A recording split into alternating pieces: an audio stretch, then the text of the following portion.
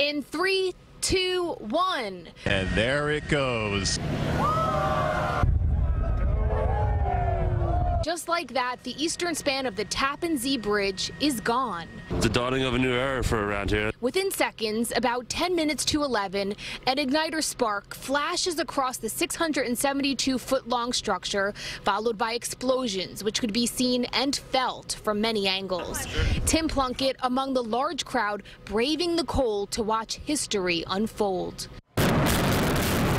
My father walked across the first bridge when it was built, and uh, so it's sort of a multi-generational connection for a lot of us. The bridge is a part of everybody in this area's life. At some point, you've been over it, and you'll never forget the traffic. Speaking of traffic, there were some delays. Police shut down part of the thruway and the new Mario Cuomo Bridge for about an hour while taking down the adjacent steel hunk.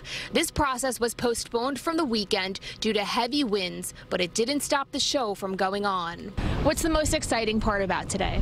I don't know. I guess it's just the fact that it's happening at all. I mean, the fact that they couldn't take it down, it became structurally unsafe, and they have to do it this way. A demolition team was brought in to lower the structure, and when it landed in the water, the top still remained visible. There's a special net underneath it to help remove what's left. It's a big boom.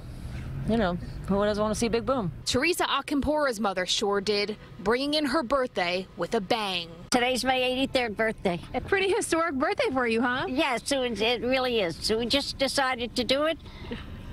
Got to figure out something for next year now.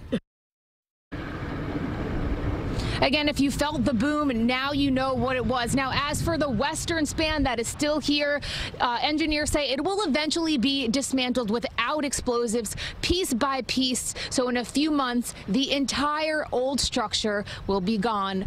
We're live in Irvington. Jenna DeAngelis, CBS 2 News.